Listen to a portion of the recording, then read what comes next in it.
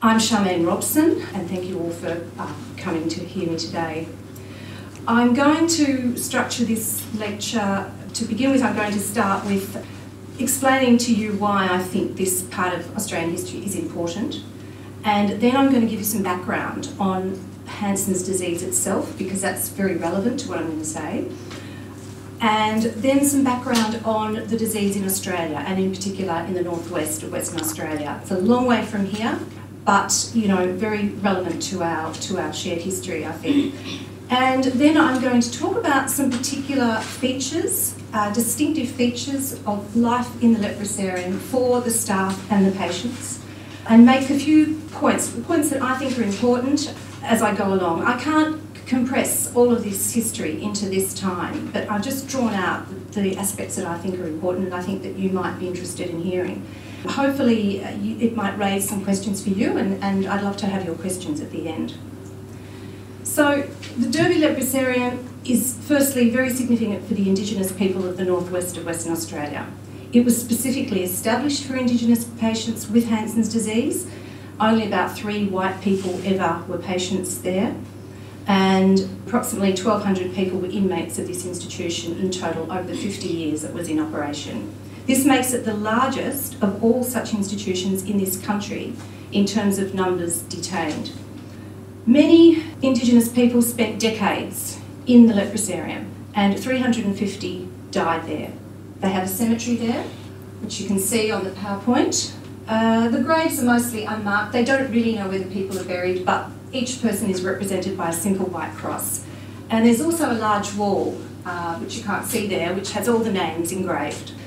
So these large numbers of Indigenous people who died or were in that leprosarium have relatives in the Kimberley region and outside that area as well. A lot of Indigenous people are related to them or, or have, have friends who were there. So the place and its history are very important to those people. And this newspaper article that was just uh, published in June this year is testament to that. You have a lady here who was a patient there, as well as a, another woman, and they're trying to appeal to governments to provide some funding to preserve the remaining buildings on the site. And they need money to do that. So I hope they're successful because it's a very hostile environment as far as preserving the buildings. You know, it's very dry and dusty, and there's a lot of insects, and um, hopefully they won't just deteriorate to nothing. Finally, the Derby Leprosarium is an important part of history for the Sisters of St John of God. And this is a community of Catholic sisters whose members nursed and educated the patients over the whole 50 years of the operation of the leprosarium. They lived there, they were very much part of the history. And I say this with a qualification that there were differences in the positions they held and the experiences they held because the sisters had some choice to take this path in life. The patients were physically compelled to take it. Okay, so I want to now look at Hansen's disease itself. So it's a mildly infectious disease caused by a bacteria or a bacillus called Mycobacterium leprae. It mainly affects the skin and nerves. And importantly, it varies in form and severity.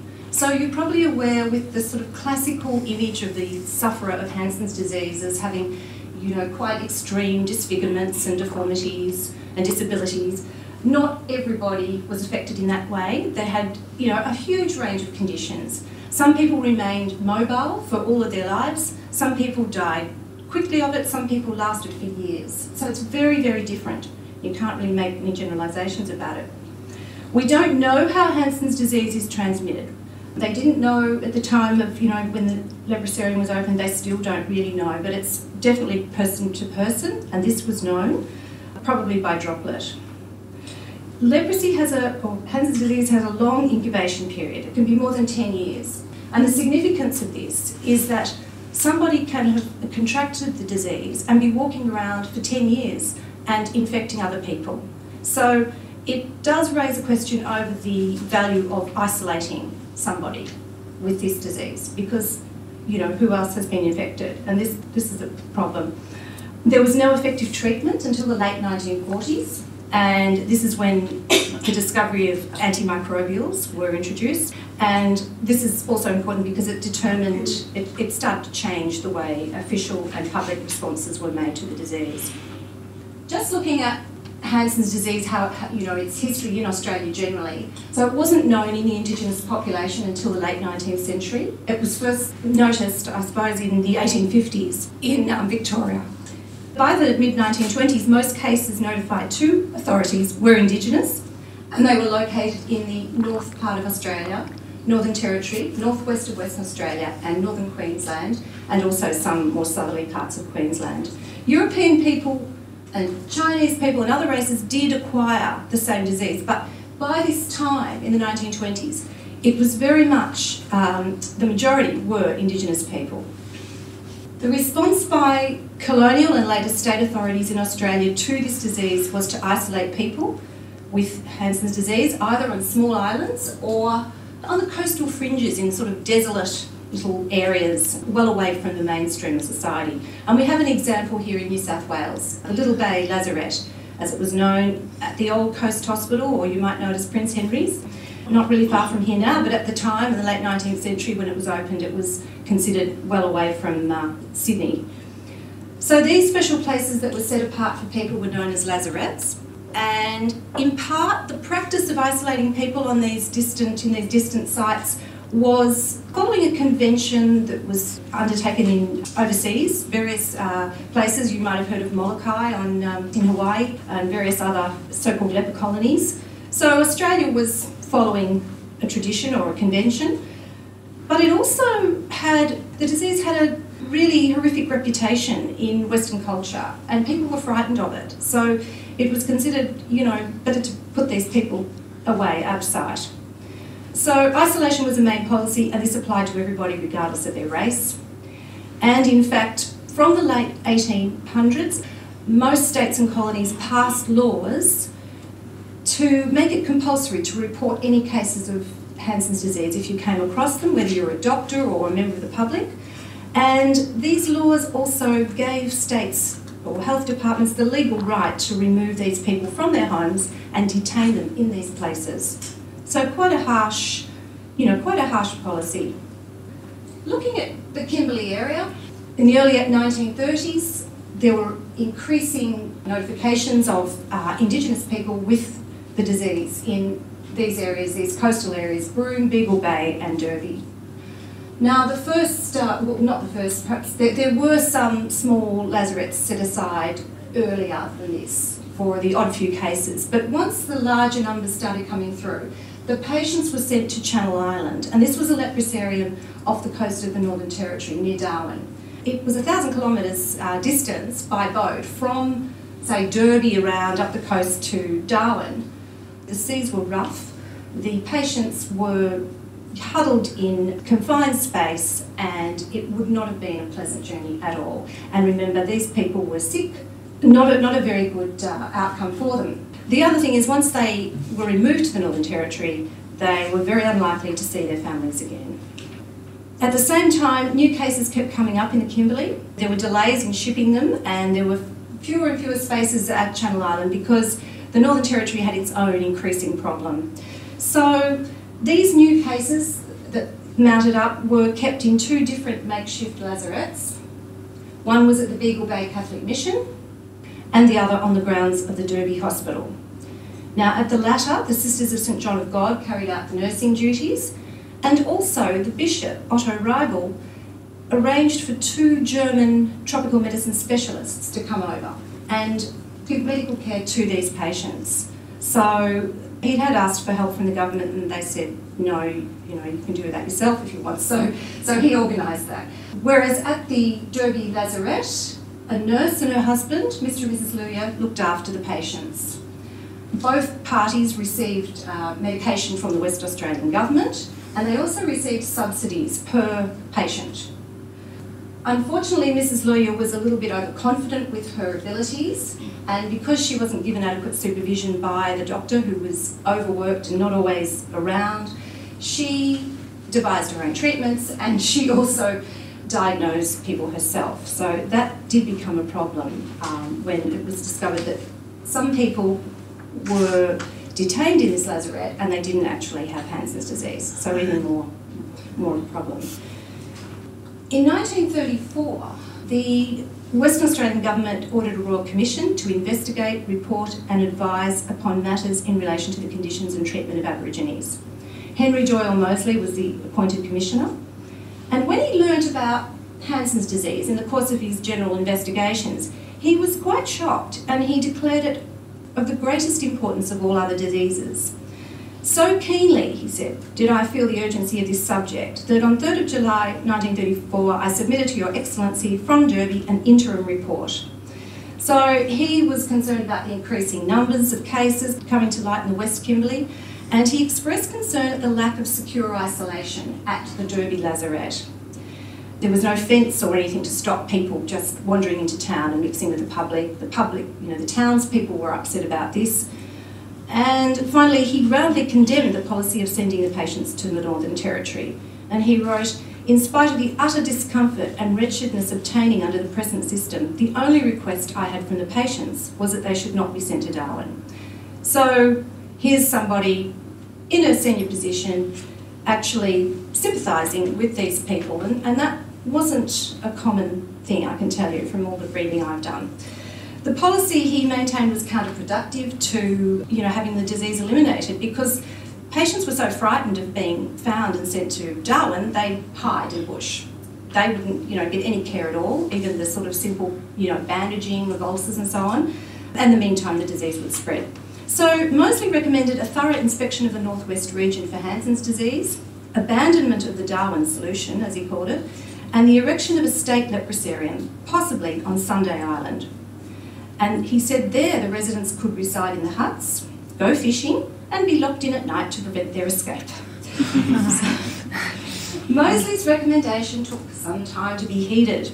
Uh, the problems he alluded did not go away, and by 1936, doctors began ringing alarm bells, and they expressed their panic in the newspapers, even you know as far away as Brisbane. The national newspapers and the local newspapers there were transmitting this sort of panic about uncontrolled Hansen's disease everywhere and concerned that people were eating food that had been cooked by Indigenous people with Hansen's disease.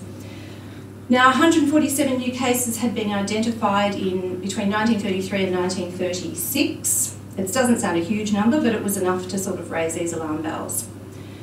This actually prompted the West Australian government to finally do something about building this leprosarium. But the West Australian government didn't really want to pay for it and they appealed to the Commonwealth Government for a hefty contribution. And they argued on the basis that it wasn't really fair that they had a small white population and a large proportion of Australia's Indigenous population, and yet they had to foot the bill for this. And it was time that you know the federal government came forward and gave some money towards it.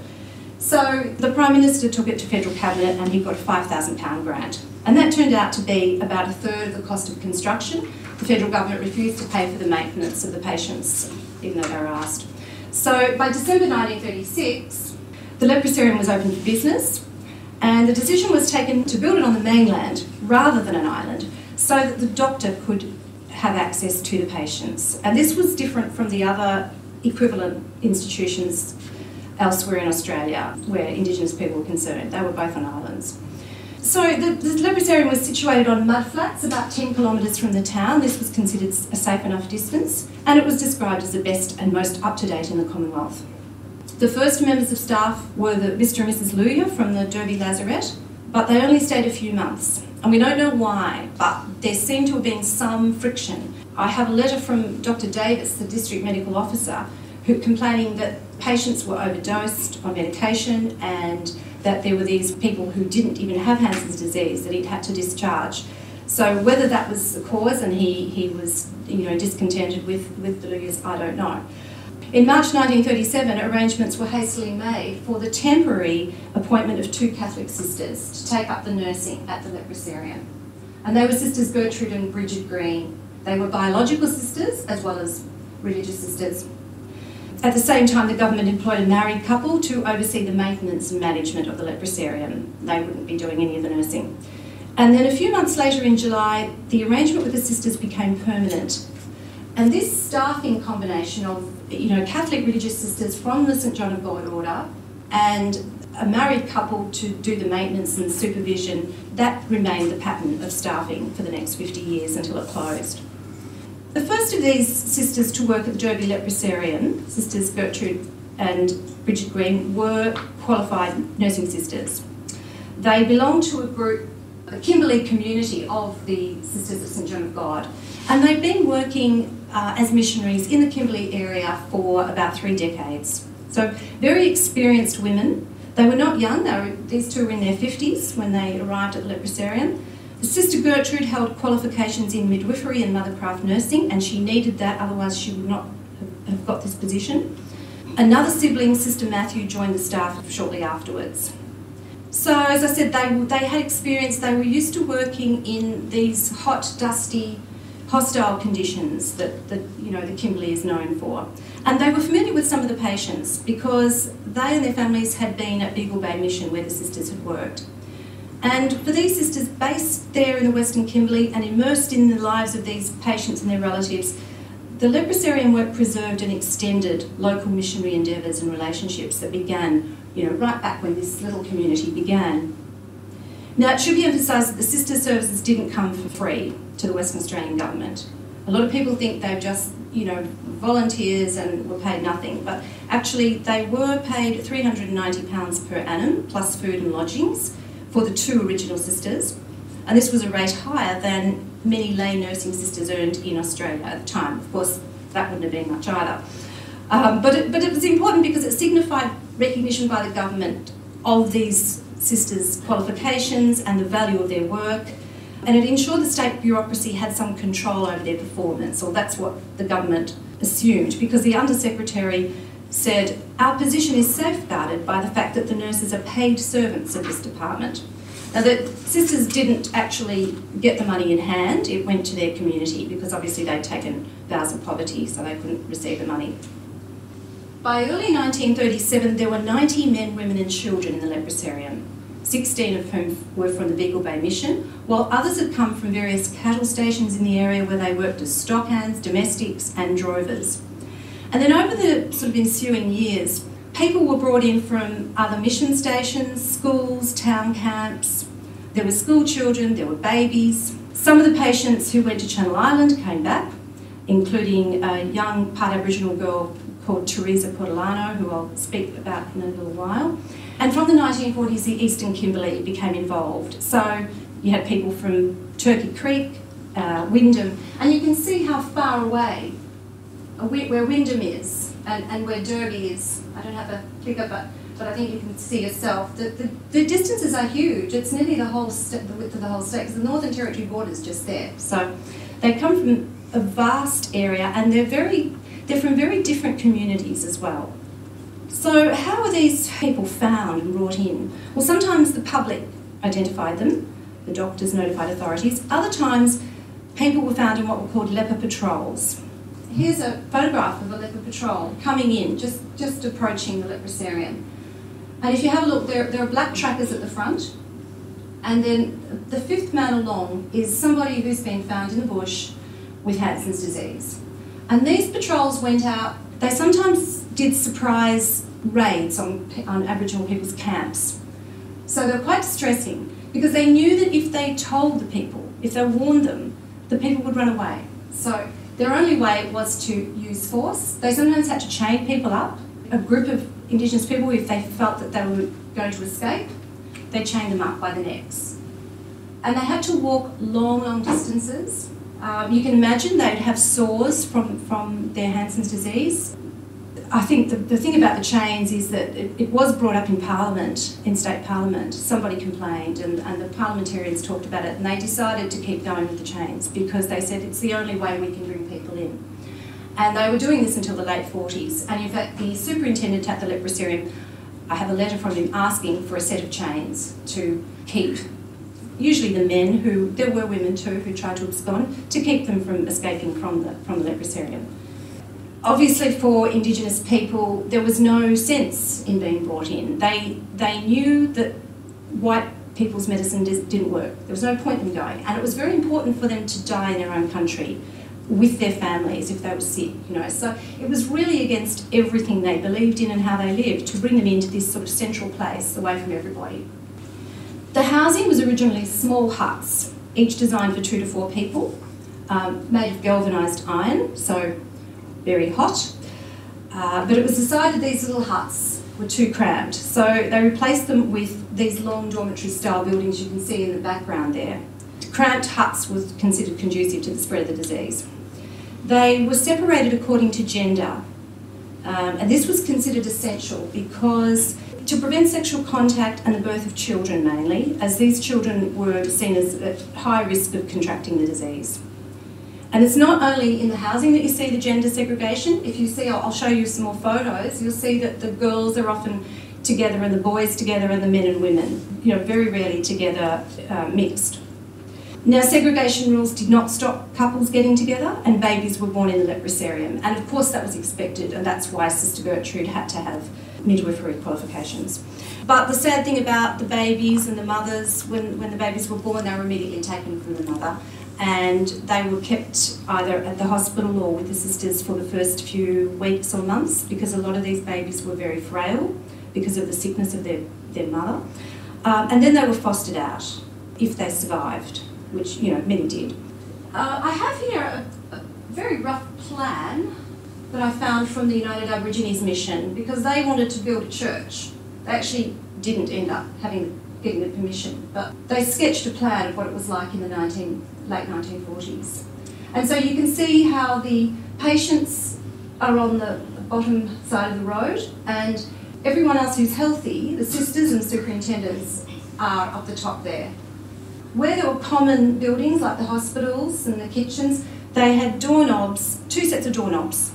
So the patients to use one and the staff the other so that the disease wouldn't spread.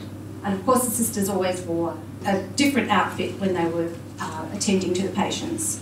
The sisters were in charge of giving treatment to the patients and nursing them. They were originally given a list of duties which read attend to sores, treat other diseases, give injections twice weekly, take temperatures. But this was a vast underestimate of the, you know, the huge uh, scope of work they had to undertake.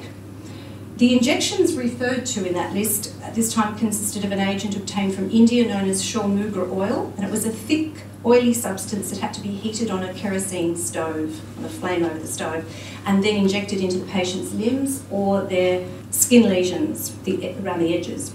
Now, it was a very painful procedure, I believe, and I think you can see from this poor girl's look on her face that she's not, not looking forward to that. Was of questionable use, although the top experts in Hansen's disease at this time, internationally and in Australia, did believe that it helped to some degree. It was all they had. Each month, the sisters tested for the Hansen's bacillus. They extracted serum known as smears from uh, behind the patient's earlobes. They stained it and examined it under the microscope for the presence of bacteria the results were recorded and they watched these readings over a you know, period of months and years to trace the course of the disease in the patient. And this became particularly useful when they did have effective treatment and you could see the, the bacillus numbers reducing. The greater part of the sisters' days and sometimes nights were occupied with managing and trying to ameliorate the very serious conditions and um, complications induced by the disease itself and by the medication, which had some severe side effects. Twice daily, the sisters spent hours attending to routine clinical procedures, giving out medication, washing and bandaging the patient's lesions, paring ulcers, applying caustics. Then they would go into the dispensary and they'd mix solutions and compresses, a bit of pharmacy work there. They performed dental extractions, they would assist at amputations, and they also provided anti and postnatal care and delivered and looked after newborns. So that list was a little bit unrealistic. The leprosarium was planned to be self sufficient right from the beginning, and this would not have been possible without the cooperation of all the able bodied patients. They were all expected to work if they could. The women worked feeding poultry, milking goats, washing and making clothes. Livestock were purchased, and some of the men who'd worked on cattle stations slaughtered them and processed the meat.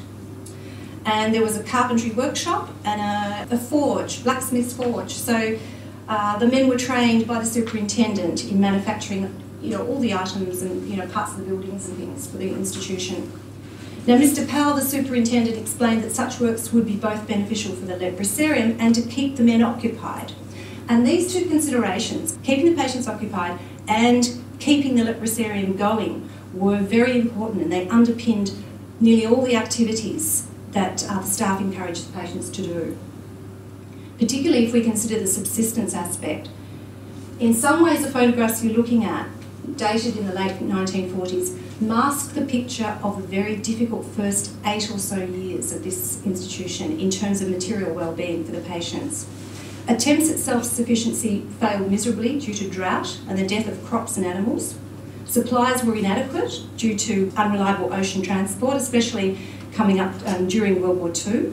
I have a copy of a letter from Sister Gertrude to the Health Commissioner, almost pleading for some vegetables for the patients and some fabric so she could make clothes for them. And she was told it wasn't her business, that it was up to the superintendent to deal with these matters. Teresa Portolino, the girl I mentioned before, she, she remembers women patients knitting clothes from the wool of the dead goats and sewing outfits from flour bags in these years. So times were very tough. And this doesn't accurately represent that. However, it probably does to some extent represent how things improved after the war. And we should also be cautious about the happiness that you see on those faces. I mean, no doubt there were some good times. You know, patients do look back and say there were, but it doesn't tell us about, you know, that was hard work and they had pain and they had homesickness and it definitely, you know, was a traumatic ordeal being a patient in this place. To return to the point about efforts to keep the patients occupied, most of each day was accounted for. Every morning the patients had to line up for exercises. This was considered physically therapeutic and as well as good for mental discipline. And the patients then had clinic and the adults went to their jobs. If they were children, they went to school, usually just for a few hours per day. Teresa had been educated at a Catholic convent and she took it upon herself to teach the children. And she taught them, some of them didn't speak English, they didn't even write or, or, read English, and she taught them. She also introduced some children to Christianity by teaching them about the Bible and how to say the rosary. So we can see here we've got this sort of influence of Western culture coming through, because a lot of these children had come from more traditional backgrounds. In the late 1940s, a new sister arrived who was both a registered nurse and a trained musician. Her name was Sister Alphonsus Daly, and she replaced Sister Gertrude as the sister in charge. Sister Alphonsus began teaching the patients music and established a patient orchestra. She realised both adult and young patients could pick up playing instruments without the need to sight read, and she appealed to the public and the government for donations of musical instruments. The patients played classical music and folk songs, and in later years, jazz and the Beatles. When official visitors came to the leprosarium, she put on a concert, dressed the patients up, you know, the girls in little pretty dresses, the boys in cowboy suits or suits, and um, she'd uh, have their hair done, and it was really, you know, quite professional. For, for Sister Alphonsus, the orchestra was served a, a number of different therapeutic functions. It was a kind of panacea she told the patients that playing instruments exercised their fingers and therefore helped to prevent claw hand, a common problem for Hansen's disease patients. Playing music was also aimed to keep the patients distracted from their problems. And patients looking back on this time agreed that this was the main reason they were encouraged to play. In their words, music was an escape from confinement. And another claimed it was to keep us occupied instead of thinking about our relations. Another said it lifted our spirits. In her memoirs, Sister Alphonsus called it the therapy of distraction, and it was an attempt to substitute negative thoughts and sometimes negative actions with activities that she believed would be satisfying. And I think it resonates strongly with um, modern therapeutics for anxiety disorders used by psychiatrists these days, such as cognitive behavioural therapy, which, and I quote a psychiatry journal, seeks to maximise engagements in activities providing a sense of pleasure and mastery. And the fact that Sister Alphonsus spent such a great deal of her time and energy, I think is evidence of the suffering of the patients and her awareness of that suffering and determination to try and alleviate it.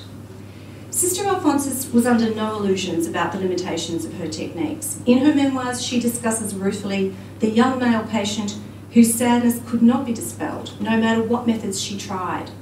And we can't assume she was successful with the patients necessarily, But we do know she tried, and we do obtain an understanding of what is going on here, like her attempts to bring her individual approach uh, using her resources and talents. And this is a way she was using her own religious vocation. And I think it's also instructive because it shows us that we can't assume how missionaries are going to do their work. It's an individual thing, and we have to keep that in mind, I think. Sister Alphonsus eventually passed the baton on to a younger sister, Sister Camille Poitevin, a conservatorium trained musician, and the orchestra continued on well into the 1960s until patients started to dwindle and they didn't have enough people to uh, play all the instruments. In keeping patients occupied in activities such as work and music, not only you know these activities were desirable for all sorts of reasons, but it also prevented idleness, and there was this great fear about the patients being idle. Authorities feared that the idle patient would become prone to gambling, drinking, and sex, all of which were disapproved of. And this became another reason for keeping them involved in respectable activities. One sister looking back on her time at the leprosarium remembered Sister Alphonsus used evening orchestra practice to keep the men away from the women. So apart from everything else, the orchestra was a form of discipline and a much more merciful one than some of the punishments doled out by the superintendent, which included head shaving of the men and incarcerating them in um, the leprosarium lockup. And I will show you um, an image of that leprosarium lockup, which was built in, in the early 19, I think 1951 to, uh, for, for any men who were you know, really disobedient or tried to abscond. There are many as interesting aspects to institutional life that time here does not permit me to explore. In fact, before I do explore just two more things, I'll bring you back to some of those images. That, so this is the daily exercises. They're all lined up. I mean, we're very lucky to have these images from Stuart Gore, a photographer who was so intrigued with this place. He spent a lot of time there and took these photos. This was for physical and mental therapy, and it was again part of filling those days. And if we go to the next one, that's the school, that's the school class. And Teresa Portolano there, young woman teaching, teaching the girls in the front row, the boys in the back row. And the sisters did employ another sister as a school teacher full time afterwards. Sister Alphonsus Daly, who started the orchestra, and she was the sister in charge for many years there, and really known to her energy and um, inventiveness. and then that's the orchestra. And you can see they're not just young, There's, they're quite, you know, adults and a wide variety of instruments. I think that's just the string section there, but there were um, there was a piano and there were wind instruments and uh, a variety, you know, a whole, whole orchestra and she had choir as well. So I, I also wanted to emphasise the cultural exchange that flourished in the leprosarium due to the diverse backgrounds of the patients. Now this was a place that brought together Indigenous groups that were in some cases were traditional enemies of one another. They either had fights or they weren't allowed to be in the same place at the same time. There were all sorts of rules that you know the sisters had to become aware of as, as they you know learned about them. However, a lot of people did come together from different areas and, and they, um, they mixed in and patients learnt different languages from each other. They learnt about each other's cultures and beliefs and they also, to some extent, learnt about Western culture from the sisters and the superintendent. Now, although Catholic missionaries were the predominant carers, the, the practice of other forms of Christianity was also permitted. Um, Protestant UAM and Catholic missionaries had rights to visit, and they had their own groups of patients who they conducted church services for and gave pastoral care. And this picture, the reason I have it up here is because it shows that they did have certain forms of corroborees were permitted there. It was very different from the Catholic missions where they discouraged a lot of these other cultural practices. Okay, in the late 1940s, the new antibiotics were introduced at the leprosarium, um, and these were called the sulfone drugs, and they were hailed as the first effective and only treatment for Hansen's disease. This made a radical difference to the patient's prognosis and health, especially in the early stages of the disease. So those who had had Hansen's disease for a long time, um, still some of their problems that they developed, their uh, disfigurements and so on, couldn't be um, alleviated by the medication. They needed surgery, and some of them um, were able to have that. It by no means meant the end of the leprosarium. It closed in 1986. The medication came in in 1948 or 9. So you know, it was kept, kept going for another th over 30 years. And that was because discharged patients had to remain on the medication long term and they needed regular health checks. And there just was not the health facilities out there in remote Australia at the time. You just couldn't ensure the patients were going to keep taking their medication.